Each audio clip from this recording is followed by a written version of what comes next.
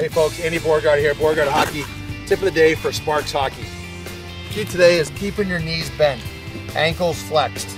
Looking down, I should not see my laces over my knees. Looking straight down, if I can see the white of my laces, knees are too stiff, ankles aren't flexed, knees are bent. I call this ride the glides. When I skate, I lean to the front of my skates like when you ski, you lean to the front of your ski boots. So I take a stride, I'm leaning front strides. I'm leaning all my weight into the front of my body. So, if I stand still, I'm stationary. As soon as I lean forward, I'm already rolling forward. Weight moving forward, knees bent, ankles flexed. Key to more power in your stride.